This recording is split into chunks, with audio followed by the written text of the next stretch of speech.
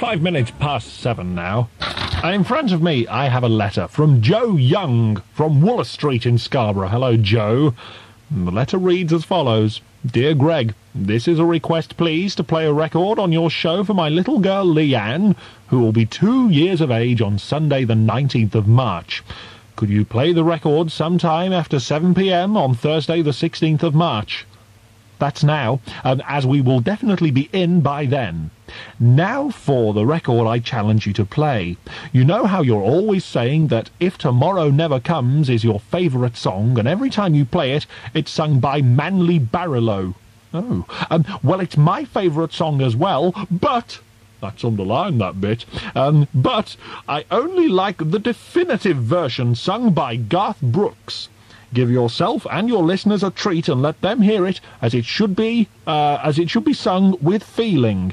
Let Barry sing Bermuda Triangle, preferably when he's actually in it. His disappearance could be another unsolved mystery. His success is...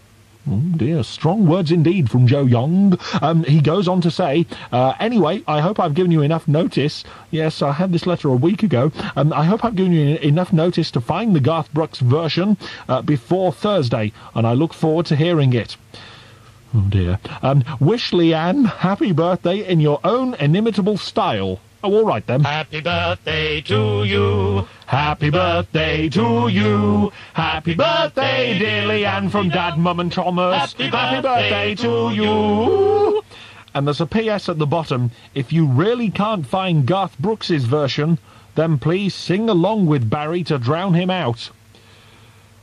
You said it. Oh, hang on! Hang on! Heather Ewing has just Yeah, got, yeah, got, has just flashed something at me. That's not on there. Oh, it's not on there. oh, you rotter! Major look, Major's there. Right, for that then, Heather Ewing will sing along with No, Barry Manilow. I will not. It's a lovely song though, not. isn't it's it? It's a lovely song. It's a lovely we shouldn't spoil it. I don't mind who sings it. Okay, here we go. I've forgotten the first words. What a shame. Sometimes Sometimes late at night. I actually know all the words.